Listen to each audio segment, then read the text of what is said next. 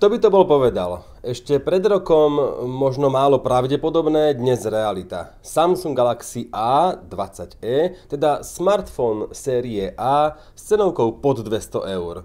Dokonca myslím, že pod 180. Toto je Samsung Galaxy A20e, teda môžeme povedať európska verzia A20, najlacnejšieho Ačka, s menšími rozmermi než je tá A20, určená skôr pre Áziu. Telefón, ktorý ponúka čítačko tlačko prstov vzadu, dizajn, ktorý mi pripomína napríklad iPhone 5C. To bola taká zvláštna séria, taká plastová. Mne sa to celkom páčilo. Dokonca dva fotoaparáty, jeden široko uhlý, jeden normálny. E, takisto aj slot pre dve SIM karty plus pamäťovú kartu. To je veľká vec, hlavne pre ľudí, ktorí rozširujú interné úložisko. V tomto prípade relatívne malé, iba 32 gigové praxi nejakých 20 niečo gigabajtov priestoru. Môže sa vám to zdať veľa, ale nie je to veľa. Je to prístroj, ktorý podporuje FM rádio, dokonca s radiotextom a RDS. Máme tu USB-C konektor, ten najmodernejší, aký sa dnes do telefónov dáva. Takže ani v tomto smere žiadne kompromisy. Máme tu audio jack a v balení nájdete okrem rýchlej nabíjačky 15W aj slúchadlá s tlačidlom na príjem ukončenie hovoru, ktoré poslúžia nielen na telefonovanie, lebo to bude asi ich hlavný účel, pretože nebudú patriť k tým najkvalitnejším na svete, ale poslúžia aj ako anténa toho FM rádia, ktoré som spomínal.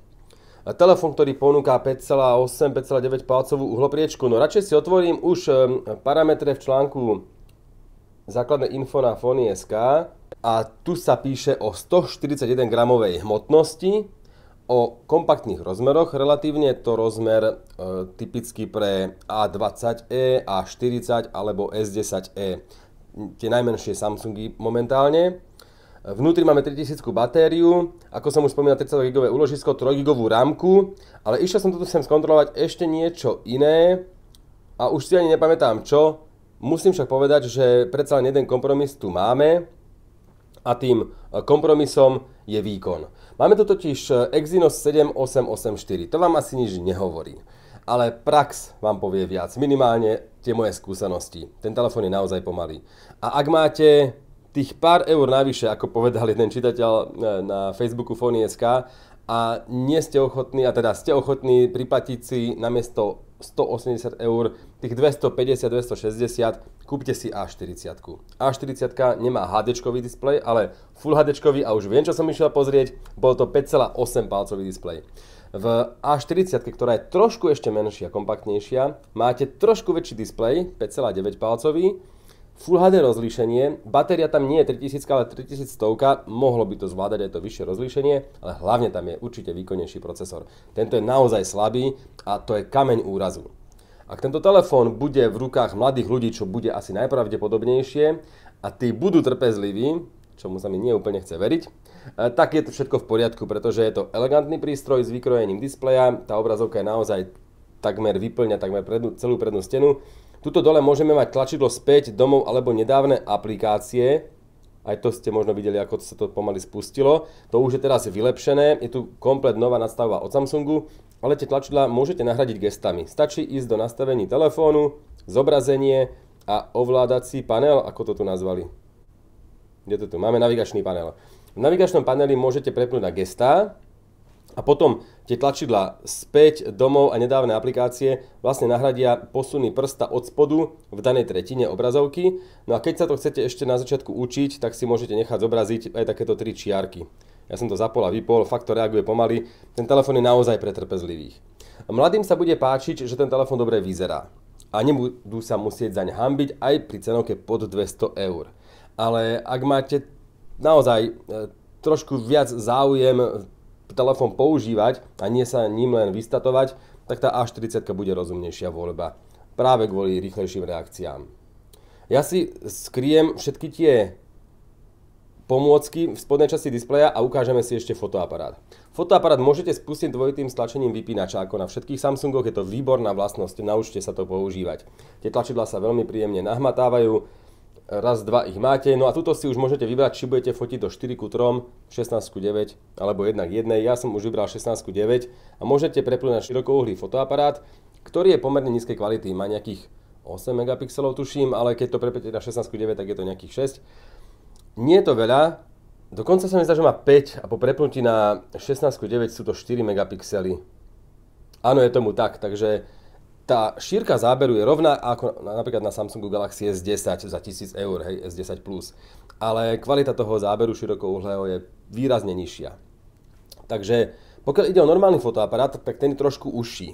Skrátka, to, čo vidíte vo fotoaparáte napríklad S10, tak tuto vidíte trošku menej. Ale ten široký je úplne rovnaký, čo sa týka ohniskovej vzdialenosti. To som porovnával som to s S10e, ale platí to pre všetky S10.